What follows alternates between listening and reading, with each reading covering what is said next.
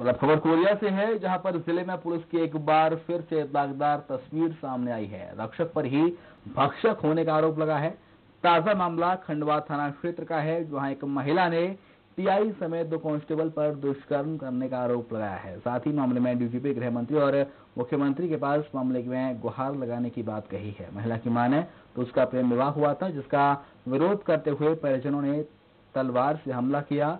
इधर पुलिस ने एक तरफा कार्रवाई करते हुए पति को जेल में बंद कर दिया है और पैसों की मांग की है। पूरी वारदात, आपको बता दें, मांग न पूरी होने पर इस वारदात को अंजाम दिया गया।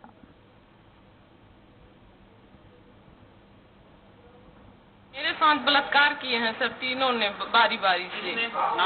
ओम शंकर साहू थाना प्रभारी और जस्सी आरक्षक और सुरेश टिक्का तो मेरे पति को इकतीस तारीख को फिर भेज दिए जेल तो अब मैं अकेली हो गई।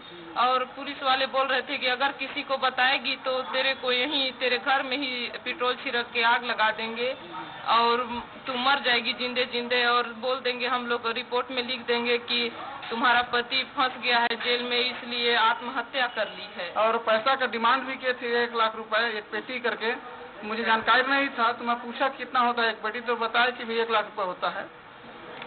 इसके बाद मुझे रिमांड में जेल भेज दिया गया इक्कीस तारीख को और मेरी पत्नी के साथ रेप कांड किए हैं।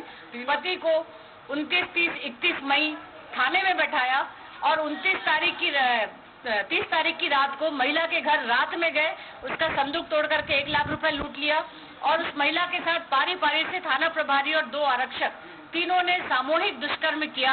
इस बात को लेकर के आईजी महोदय को 20 तारीख को शिकायत किया है। इन्होंने शंभू सरगुजा संभाग में, लेकिन अभी तक कार्रवाई नहीं हुई। जब मैंने आज आईजी साहब से बात की तो उन्होंने कहा कि मैंने एसपी को दिया है इसमें टेक्निकल कुछ जाँच चल रही है। मैंने कहा, साहब एफआईआर क्यों नहीं? सुप्रीम कोर्ट ने डायरेक्शन दिया है कि फ़र्स्ट आप एफआईआर करेंगे देन आफ्टर इन्वेस्टिगेशन तो उन्होंने मुझसे कहा कि हाँ हम देख रहे हैं और सुप्रीम कोर्ट क्या है, हम जानते हैं।